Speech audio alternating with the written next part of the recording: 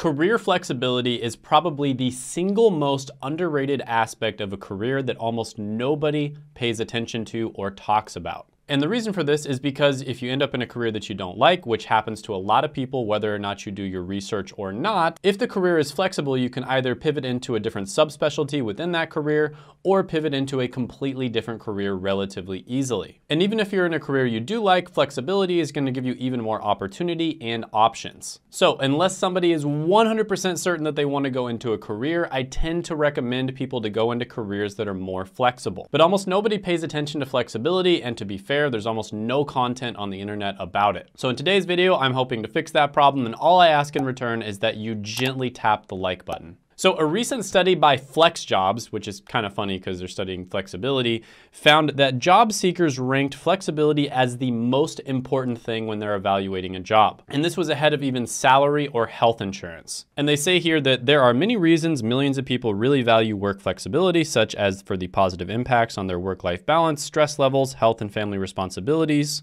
and then they go on to say, fortunately, as the overall job market continues to improve, so do the job prospects for flexible job seekers. Now let's go ahead and quickly define my definition of job flexibility just so that we're all on the same page here. First and foremost, job flexibility has a lot to do with location and time independence. So there are certain types of careers and industries out there where you can get a job, but you have to live in a certain place, right? So if you work in the oil and gas industry, you're very limited in terms of where you can get a job. A lot of the time you're gonna be out on some sort of like ocean rig or out in the middle of nowhere. So you are very limited in terms of where you can go. Now, of course, if you have a remote job, you can live pretty much anywhere in the world if you want to. And then the second thing here is gonna be time independence, so there's not somebody who's constantly breathing down your neck trying to get you to work faster. And then just as important is the ability to easily change careers. So are the skills that you're learning in this career gonna make it easy for you to make vertical or horizontal moves? A vertical move would be getting a promotion and moving up within the company, and then a horizontal move would be actually switching into a completely different career. And then something that I like to add in there, it's not for everybody obviously, but is the career teaching you skills that are gonna help you to start your own business in the future. All right, so let's move on to the first one on the list, which is going to be social media manager. So I'm not gonna go into the statistics too much in this video, but they make $75,000 a year. There is a ton of opportunity out there. You can look in even at the entry level, social media manager, 13,000 results, 28,000 results for content manager, 35,000 results for content marketing, and 52,000 results for social media marketing. And this is all just at the entry level. So it means it's relatively easy easy for you to land your first entry level job. So when it comes to location and time independence, I happen to know that there are a ton of remote jobs available for social media managers. And on top of that, even if you wanna work in person, there's a lot of jobs all over the country and even all over the world that are available as well. And when it comes to time independence, it doesn't tend to be super demanding. The abilities you learn as a social media marketer are going to make it relatively easy for you to switch into different career paths in the future. And creating content is one of those skills where I've talked about quite a bit on this channel at this point. This is something I learned from Tim Ferriss, which is learn skills where you win even if you lose. So content creation is one of those skills where even if you decide to go a completely different route, the skills that you learned are going to be very valuable and they're very likely going to help you out. On top of that, content creation is a skill that's very scalable. You can make a piece of video content that millions and millions of people can see online. It used to be a thousand years ago, the most people you could possibly talk to is if you maybe got a bunch of people in a stadium, you could talk to a few thousand at most. Now you can make content that reaches millions of people per month. Like this YouTube channel, it reaches over a million people a month. So content creation is incredibly scalable scalable. And if you decide to start your own business in the future, creating content, this is definitely going to help you. Next one on the list I'm gonna talk about is online tutor. Tutors make about $67,000 a year. There's 238 job postings when you type in tutor at the entry level. Now, when it comes to location and time independence, oftentimes tutors are online. And I've seen tutors that live all over the world. So it's extremely location independent. Now, this is one where you do wanna find your own niche, right? There are some niches that a lot of people do, for instance, uh, teaching English as a foreign language,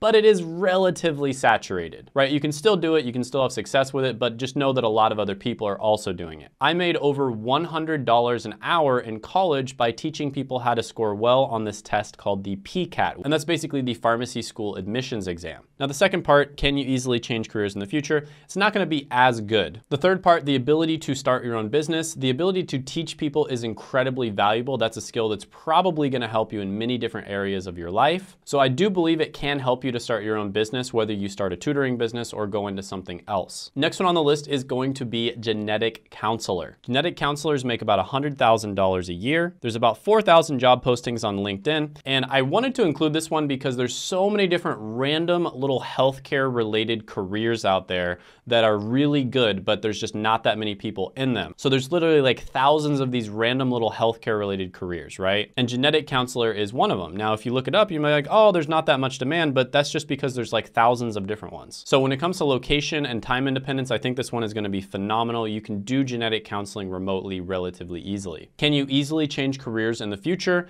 Medical, it's a little bit more difficult to change careers. But with that being said, it's not impossible. You might have to go back and do a few more years of college or get some sort of cert. And then the ability to start your own business, not quite as good, but like I said, kind of just wanted to include one in the medical field just so that you had an idea. There's a really great website called explorehealthcareers.org, I believe. Um, that has a bunch of different awesome information on different healthcare careers you can do because there's just so many of them. Next one on the list is going to be data analyst. Data analysts make about $95,000 a year. And if you look it up on LinkedIn, there's 242,000 results at the entry level. In terms of location and time independence, it's not going to be super challenging once you actually get the data analysis, you know, core skill set down. Uh, it's relatively chill for the most part from what I've heard of my friends who are in data analysis. And in terms of location independence, a lot of the jobs are going to be remote. Can you easily change careers in the future? Absolutely. This is one of the most flexible skill sets that you could possibly learn. Just about every career out there is starting to form their own version of a data analyst. In the healthcare field, for instance, you have pharmacist informaticists, which are essentially like data analysts who know a little bit about pharmacy as well. You've also got nurse informaticists, so those are essentially nurses who know about data as well. And when it comes to the ability to start your own business, it's a relatively good skill set. A lot of stuff in business is going to be, especially in the future, revolving around analyzing data. I would say there are some other ones on the list that are even better, but data analyst is pretty good. Next one on the list is going to be financial analyst. They make about $92,000 a year and there's 105,000 results on LinkedIn. When it comes to location independence, a lot of remote jobs jobs here as well. Some of them aren't going to be remote though. Some of them do want you to be in the office. And when it comes to time independence, this one's gonna be a little more intense than some of the other ones on the list, right? So when it comes to finance related jobs, they do tend to be long hours and relatively high stress. But some people actually prefer that, right? Some people prefer to be challenged every single day. And some people really thrive in that type of environment. Can you easily change careers in the future? I would say this is a relatively flexible career. There are a lot of different jobs you can go into in the finance industry I would say finance is one of the top industries to go into in the world. Technology is obviously number one, but there is a ton of opportunity in finance as well. And the ability to start your own business in the future, I absolutely think that this one will help you to start your own business. Finance is integral. It's incredibly important when it comes to starting a business. Consultant is going to be the next one on the list. And this one you make about $90,000 a year. And if you look it up on LinkedIn, there's 762,000 results for consultants. And if you look up management consultant, which is a particular type of consultant, there's 99,000 results. So there's a lot of different areas you can go into in consulting. A lot of people think of like finance when consulting is mentioned, but there's a lot of other areas you can go into as well. When it comes to location independence, you will probably be doing a lot of traveling, but that isn't necessarily location independence unless you're somebody who wants to travel a lot. But with that being said, since the pandemic, a lot of meetings have gone online, so you probably don't have to do as much traveling as you did before then. When it comes to time independence, it's pretty good, but it is going to be a little bit more pressure, like I said before you know, you do want to be able to get back to your clients when they ask you a question right away, for instance. And can you easily change careers in the future? Oh my gosh. Consulting is absolutely amazing when it comes to changing careers. Consulting is freaking awesome when it comes to, you know, vertical growth as well as horizontal growth. There's so many different areas you can go into as a consultant. There are many consultants who, you know, years down the line end up being executives in businesses, for instance, or starting their own businesses. Very, very common to see that. I will say this is another one of those careers that can be a little bit better if you're a more competitive A-type personality. And then the ability to start your own business, like I said, really great. Consulting consulting is amazing for that. Next one on the list is going to be web designer, okay? So this is also known as UX UI design. Uh, this one you make about $92,000 a year. If you type in web design on LinkedIn, you're going to see about 115,000 results. In UX design, you'll see 41,000. UI design, you'll see 82,000. So when it comes to location independence, a lot of the time you can do this one remotely, but there also are many jobs where you can go in and work in an office environment as well. When it comes to time independence, this is more of an artistic endeavor, so they do have to kind of leave you alone a little bit, but at the same time, a lot of these projects are gonna be done in teams, so there are gonna be deadlines as well. So the pace isn't gonna be crazy, you're not gonna be working like 100 hour weeks or anything like that, but you know, it is gonna be one of those things where you do have to get things done because other people are counting on you. Can you easily change change careers in the future.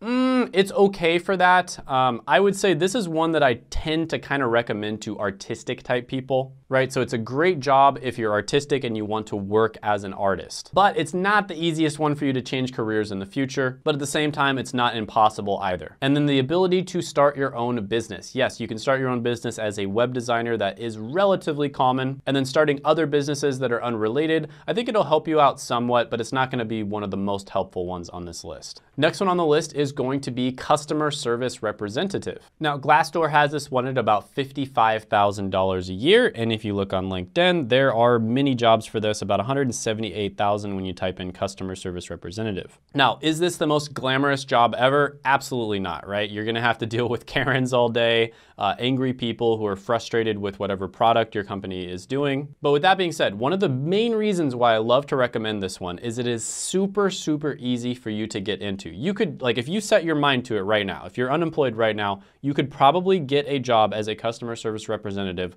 within two weeks. And it doesn't matter what background you came from or anything like that. It is super easy to land these types of jobs. Now, with that being said, if you are fortunate enough to be in the United States, Canada, Australia, and the United Kingdom, AKA you have an accent from a first world English speaking country, that is going to put you at a huge advantage here. This is because a lot of the time customers want to speak with somebody who is fluent in English and you know has their accent. Customers get really frustrated when you know they call customer service and they're speaking with somebody you know, from another country and they can barely understand them. Now, with that being said, I highly recommend you try to get a job in the technology industry.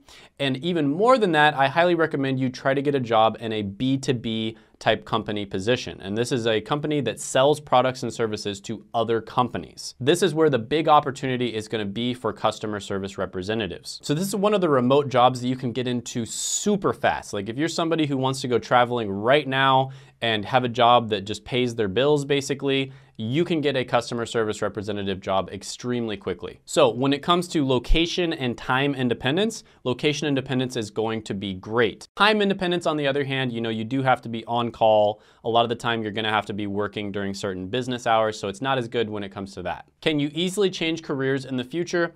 I would say that customer service is a relatively valuable skill to learn. Not the most valuable skill, but it is relatively valuable, especially if it's customer service in a B2B type of business. And then the ability to start your own business, I do think this one is going to teach you a reasonable amount of skills that are going to transition into starting your own business. Because again, you're working directly with customers, so you probably have a really good idea about what they like, what they don't like, etc. So yeah, I totally get this one. Not everybody wants to do it. Uh, a lot of the time people would really hate doing this type of job. But with that being said, if you need to get a job really quickly that's pretty much fully remote in many cases, this is a great one to get into. Next one on the list is going to be software developer. Of course, I've talked about this one so many times on the channel, $109,000 a year. On LinkedIn, 321,000 results. When it comes to location independence, very good. Lots of remote jobs are available. When it comes to time independence, also very good. I have many friends who work in software development and a lot of them tell me they only work like two to three hours a day.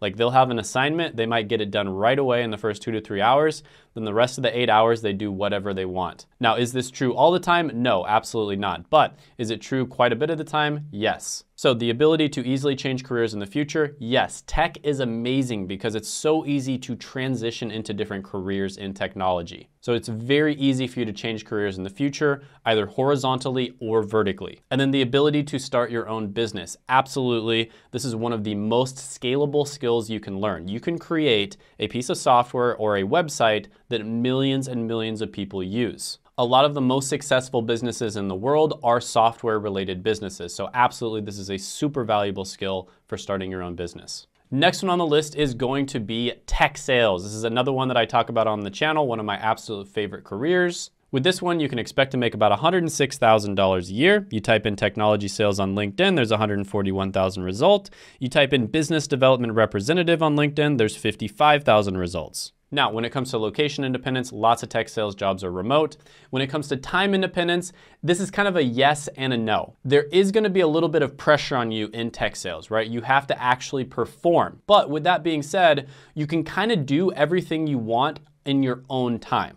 So it's almost a little bit like owning your own business. So when people ask me, you know, how much time do I spend on my business? I do spend quite a bit of time every week on my business. But with that being said, I can do it whenever I feel like it. There's not somebody telling me you have to do this right now, here's the deadline. I make my own deadlines, I do things when I want to. And it's kind of like that with tech sales in many cases as well. Can you easily change careers in the future? Oh boy, absolutely you can. Nobody knows customers better than the people who sell to them, the people who are actually talking to them on a day-to-day basis. So yes, there is a ton of room for both vertical growth as well as horizontal growth in tech sales. And then the ability to start your own business in the future, again, amazing. The skills that they teach you in tech sales, both the prospecting side of things as well as the actual selling side of things are going to help you probably more than any other skill you can learn when it comes to starting your own business in the future. Next one on the list is going to be information technology. With this one, it's about $82,000 a year. And if you look on LinkedIn, you're gonna see 312,000 results. And if you type in help desk, you're gonna see 41,000 results. That's typically the first entry level job that you would get in IT. So when it comes to location independence, tons and tons of remote jobs available in IT. There's also some in-person jobs if you're more of like a hands-on type of person, you like to set things up. When it comes to time independence, oh my goodness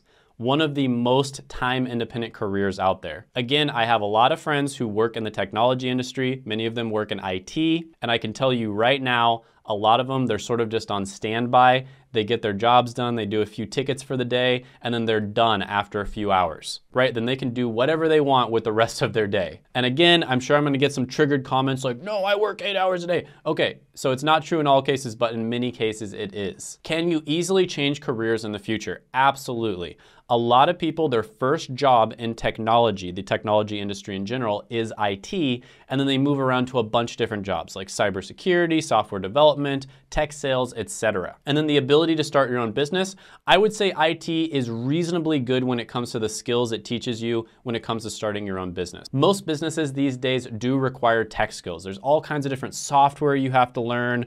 There's all kinds of different hardware you have to learn how to use, like this camera, this computer, all these, I probably use like 20, 30 different pieces of software. So learning some basic IT skills is definitely going to help you start a business in the future, especially if you start a business in the technology industry. Next one is going to be one of my absolute favorite careers as well, which is digital marketer. With this one, you can expect to make $84,000 a year. And if you look on LinkedIn, there's 210,000 job postings. Now, when it comes to location and time independence, this might be the best one on the entire list. One thing I hear over and over again when it comes to digital marketing is the fact that it has such good work-life balance. A lot of people were very stressed out in their previous careers. They transitioned to digital marketing and it's just so much better for them. Their job satisfaction is much higher. A lot of people come to me and they want me to help them sort of figure out what the best career for them is. And this is one of those careers that I've noticed over and over again, people just tend to enjoy it. Whether you're introverted or extroverted, analytical or artistic, a lot of different people find verticals within this career that they enjoy. So when it comes to location and time independence, this one is phenomenal, maybe the best one on the entire list. When it comes to the ability to easily change careers in the future, there's a ton of opportunity for digital marketers out there as well. This is another one of those skill sets that you can transition into all kinds of different roles. You can transition into sales, you can transition into like a product manager, so that's like a vertical transition. There's a lot of different marketing related roles you can get into. There's even like a VP of marketing, you can make over $10 million per year if you get up to that level. And then the ability for you to start your own business, absolutely one of the most valuable skills you could possibly learn when it comes to starting your own business is paid ads. Paid advertising is incredibly valuable. I would say when it comes to starting your own business, this is the second most valuable skill you could possibly learn behind tech sales. And if you're interested in digital marketing and you want to learn more about it, me and my business partner, Seth, have helped a ton of different people get into it. You can check that out down in the description as well as the pinned comment below. There's actually an entire playlist on my channel of different people that I interviewed that I've helped to get into digital marketing. So definitely check those out. And if you want to see a specific interview, which is one of my favorites, I'll put that right here.